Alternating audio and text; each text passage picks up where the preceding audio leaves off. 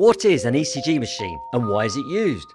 This is an ECG machine and it records the electrical activity of the heart and we use it to test patients' hearts for things like rate and rhythm.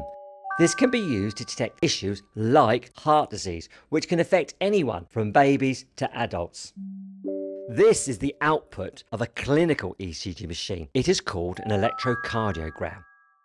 Here we can see the complexes recorded from the heart. These are all electrical events. We can see a P wave, a T wave, and also we can see a QRS. It is the repetition of these events that allow the heart to contract in a coordinated, efficient fashion. The distance between these complexes allow us to work out the heart rate and we look at all the ECG to detect different forms of heart disease.